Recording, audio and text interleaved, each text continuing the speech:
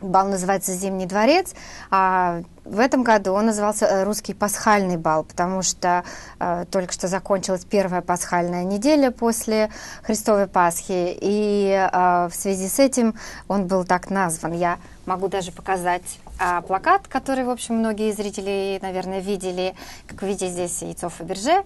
А, и, в общем, бал был благотворительный, средства собранные будут перечислены в фонд лагеря Рускока, mm-hmm. который а, существует в Мускоке и по, так сказать, звучащему... Рускока, Мускока. Да, на названию назвали Рускока. Бал проводился уже десятый раз подряд, и на балу присутствовало около 500 человек. Представители mm-hmm дипломатических кругов, э, разных слоев русской эмиграции, а, исторически приехавшие в Торонто, молодежь, бизнес-представители э, и так далее. Ну, нам приятно объявить о том, что и наша компания с вами участвовала как медиаспонсор в этом, а Маша э, не просто участвовала от компании, но и входила в оргкомитет.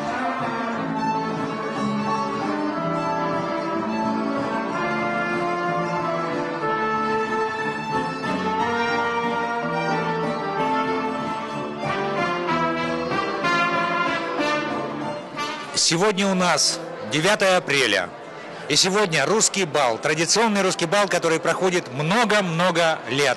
Здесь собралась вся русская публика. Это самое знаменательное событие года. Приглашаем вас на русский бал.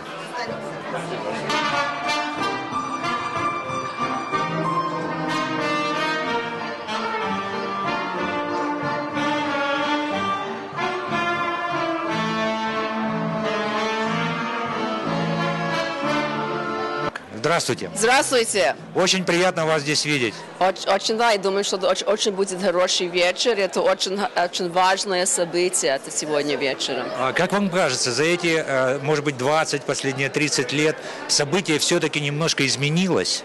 Я думаю, что это все разбивается, и больше и больше людей, больше интереса. Я думаю, тоже все эти, как сказать, послы парламента тоже думают, что это очень важно здесь выйти, познакомиться с русским обществом здесь, в Канаде. И вы знаете, э, я заметил такую тенденцию, что а, старая иммиграция – и новая иммиграция. Вот мы новая иммиграция. Мы 10 лет назад приехали. Я здесь родилась. Я знаю, я да. знаю. Но мне удивительно, что вы так хорошо говорите по-русски. Не знаю, что так хорошо, но все-таки стараемся. Это очень важно содержать язык собственный, потому что язык – это ключ к культуре, как сказать. Наталья Горелик. Светлана Кирнасова. Татьяна Белокони. Мы сегодня празднуем э, замечательное событие. Мы просто празднуем День Пасхи, Пасхи. Но это событие приурочено, что мы собираем деньги для Роскока, для Роскока лагеря. Отлично. Да. Ну, как бы Наталья все сказала. Как... То есть благотворительная акция. Да, благотворительная акция. Я участвую в этой акции. Я преподнесла как бы два больших подарка, а, Вау. которые будут на аукционе. Хорошо. Скажите, пожалуйста, а вы первый раз здесь? А, нет, это мой второй год, когда я присутствую на, первый. на... Я первый раз. Я первый раз. Я вам завидую. Вы заметили, что есть люди а, старой иммиграции и достаточно много таких, как я. А, новенькая, так? Тоже новенькая. Это Меньше 10 года. Три года. Три года. Я тоже три, три года. Восемь лет уже. Восемь. Мы с вами ровесники. Да, мы уже практически старые. Мы, да, мы уже опытные. Девушки, желаю вам хорошо отдохнуть. И что вы хотите пожелать нашим телезрителям, нашим суровым иммигрантам, которые здесь выживают, несмотря ни на что. Еще и побеждают и делают такие балы. А, терпение, здоровье, бороться, не сдаваться. Мы не для этого сюда приехали, чтобы сдаваться. И также присоединяйтесь в следующем году к нам. Отлично. Держаться вместе, мы всегда рады новым людям. Вот, и всего самого-самого хорошего.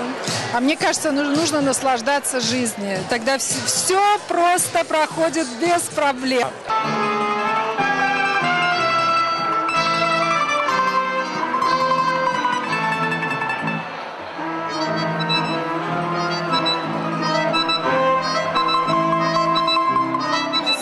Действительно замечательно. Я просто удивлен, насколько сегодня э, много людей и вообще публика чуть-чуть изменилась все-таки. Вы заметили? Я, честно говоря, пока не заметила, я только что пришла. Но всегда бывает много народа. Потому что это не просто бал, это благотворительное мероприятие. Это деньги Как идут люди в пользу. как люди конечно, конечно, хорошо, в да? поддержку, конечно. Это очень важно. Жалко, что один раз в год такой бал бывает. Но один раз в год бывает осенний бал. А это я, да, да. Мы тоже там бываем. Так что можно два раза в году побывать на балу. Спасибо вам. Приглашаем вас на русский бал в следующем году. И в лагерь Рускока, пожалуйста. В этом году, э, как мне сказал сейчас Алекс, будут дети из России, как и в прошлом году. Это очень здорово.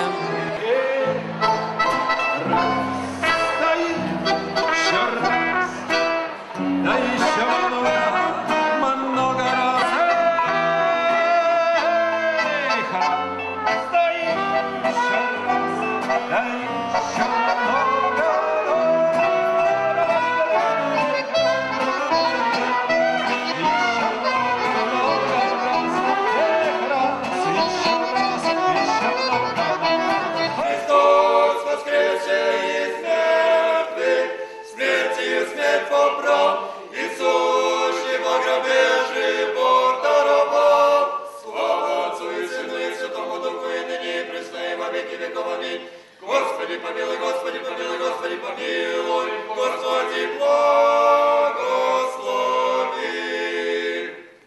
Наша любимая писательница.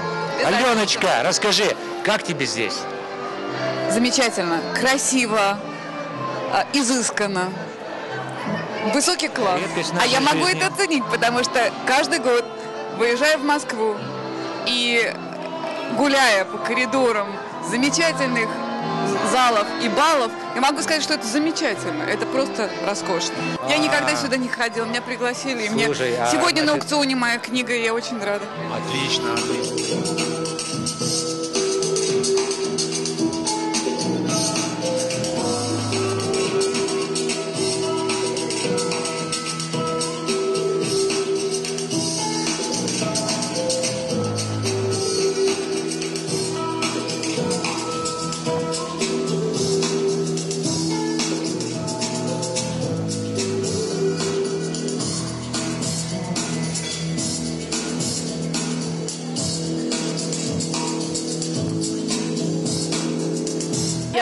По-русски. а, Не хорошо, я знаю. Я была на русской школе тоже. Да. А, а, как вы связаны с этим балом? А, вы по происхождению русский человек или вы любите русскую культуру? Я был русской, русской культуры и я русский человек. Ой, спасибо. Из, из э, здесь.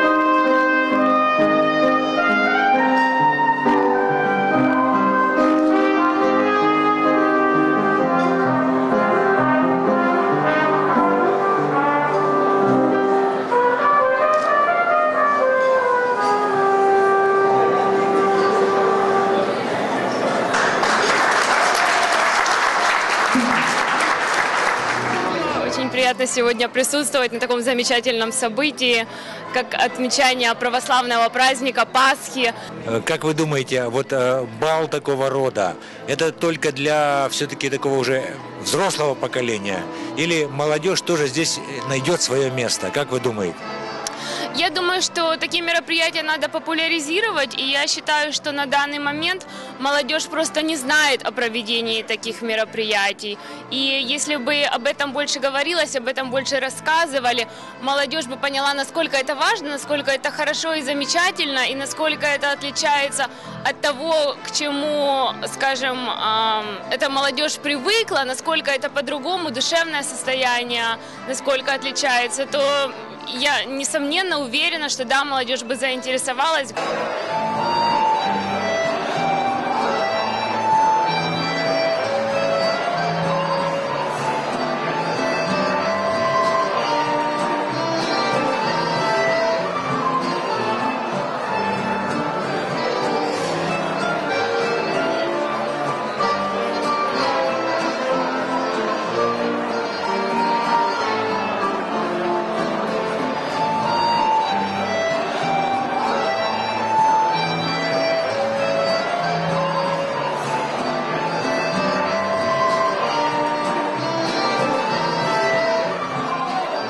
Из украшений бала стала выставка русского художественного серебра XVIII века. Эту выставку представила из своих личных коллекций Ольга Бронникова. Гости бала проявили живой интерес к русской культуре и истории. Интересно смотреть на человека, который вот музейные вещи собирает дома. Так вот, чтобы... Ну, это какой-то профессиональный такой безик. Точно. Да. И Поэтому человек, оторванный от российских музеев, он дома делает музей. Да, и мне хотелось показать тоже всем. У нас такая у музейщиков своя этика. Вот когда я в музее работала, у меня личных коллекций не было. Как-то это было не принято там э, собирать. э, А вот уже здесь оказалось, здесь такой антикварный рынок хороший, то я иду и думаю, как же, ведь эта вещь должна быть в музее. А серебряные чарки сегодня можно было не только посмотреть, но и отведать из них настоящие водочки по старинному русскому обряду. Под величальную песню «Кому чару пить?».